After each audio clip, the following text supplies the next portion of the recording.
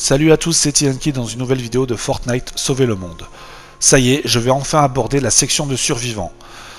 Elle sera composée en deux parties, donc aujourd'hui nous allons voir tout ce qui est théorie sur cette section, et mercredi je vous ferai un cas pratique, donc j'aurai enlevé tous mes survivants, je les montrerai un par un, et en vous expliquant pourquoi, et en voyant par rapport à ce qu'on avait vu aujourd'hui.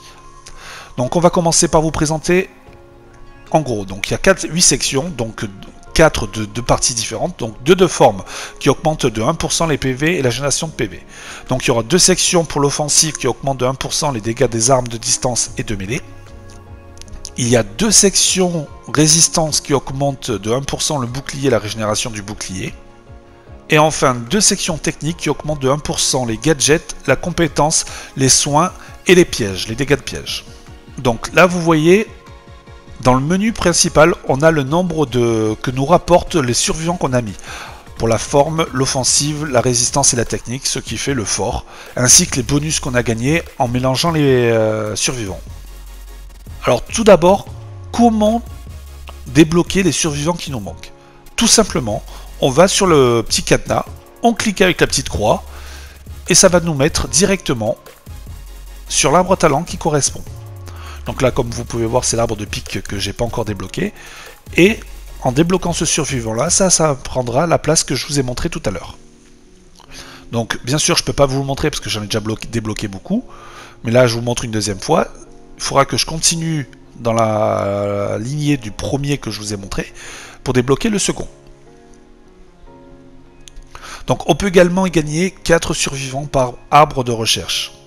Donc au total, 16. 4 x 4, 16. Donc n'hésitez pas à les débloquer dès que vous pouvez dans les arbres de recherche, ça vous fait 4 emplacements directs. Avant même d'arriver dans la zone euh, qui correspond. Comme vous pouvez voir, moi je les ai tous débloqués. Les leaders, très important, il faut vraiment les associer, les associer à leur section qui correspondent. Le, vous voyez les petits dessins avec la petite flèche comme ça. Ça, ça veut dire qu'ils sont vraiment bien euh, placés au bon endroit.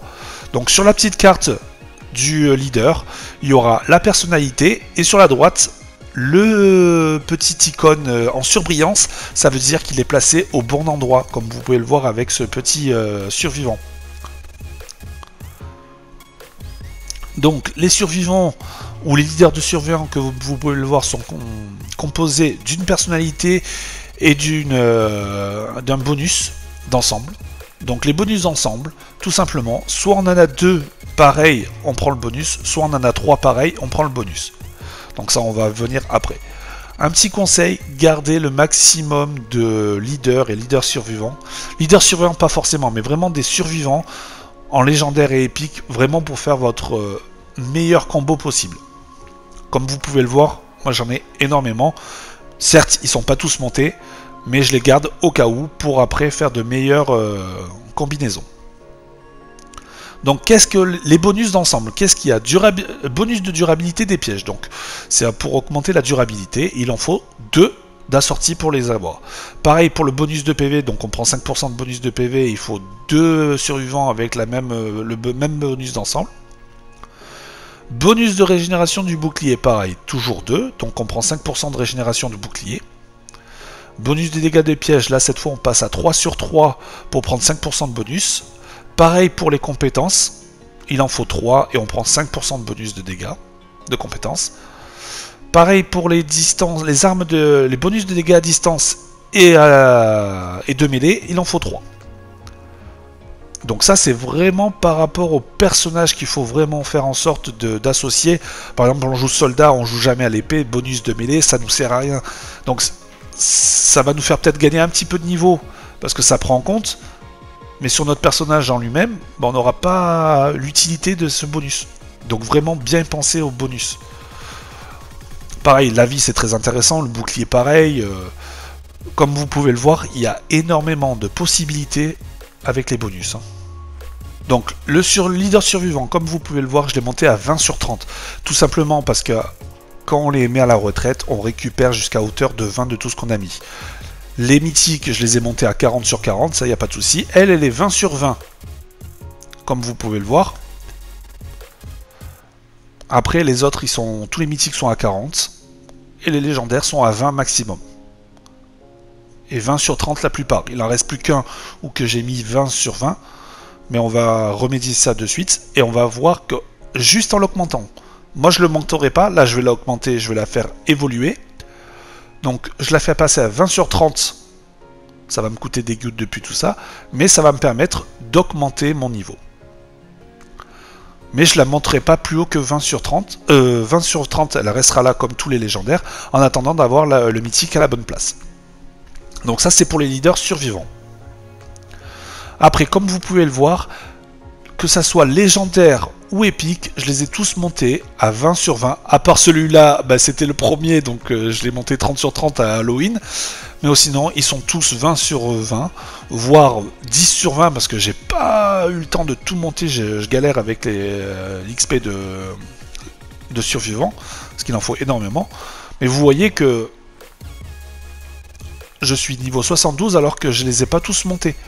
Certes, euh, les mythiques font une grosse partie du boulot, mais bon.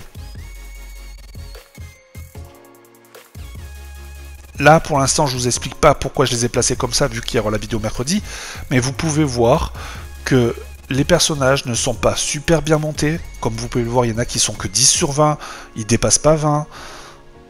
Tout simplement parce qu'en fait, j'augmente jusqu'à 20 parce que quand on met à la retraite les personnages, maintenant, on peut les récupérer tout ce qu'on a mis, que ce soit XP de survivant, schéma ou goutte de puits.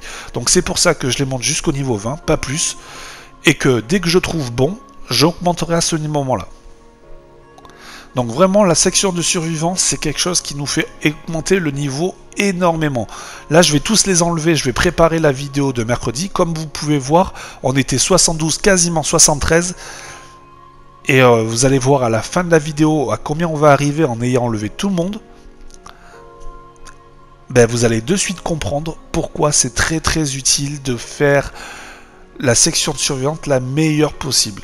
Mais il faut vraiment qu'elle se corresponde à son style de jeu. Tout simplement, comme je vous expliquais tout à l'heure. Si vous jouez pas des armes à distance, ça sert à rien d'augmenter les bonus d'armes à distance. Vous voyez, on est presque fini. Trois sections, on est déjà dans les 50... 59 exactement. Donc vraiment, vraiment, je pense que cette vidéo, pour la partie théorie, comme je l'appelle, va plaire. Et je vous dis, revenez mercredi, on verra ensemble de, comment, de combien je vais passer en mettant les survivants à leur place. Je vais en profiter pour faire des modifications et à la fin de la vidéo de mercredi, je vous montrerai la différence qu'il y avait entre la première et la deuxième avec les deux forts.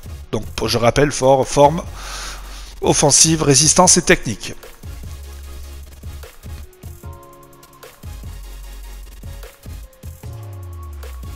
Donc la vidéo va arriver à son terme, donc j'aurai bientôt fini de tout enlever. J'espère qu'elle vous aura plu qu'elle va vous servir énormément. Et comme vous pouvez le voir, on descend, on est presque à 30. Donc euh, ça descend bien. Donc j'espère que la vidéo, comme je vous l'ai dit, va vous servir. Moi je vous donne rendez-vous mercredi pour la deuxième étape de la vidéo. Comme vous pouvez le voir, on va arriver niveau 25, si je ne me trompe pas. Voilà, niveau 25, quand on n'a plus de survivants. Je vous souhaite bonne journée et on se retrouve bientôt pour de nouvelles vidéos sur Fortnite Sauver le Monde.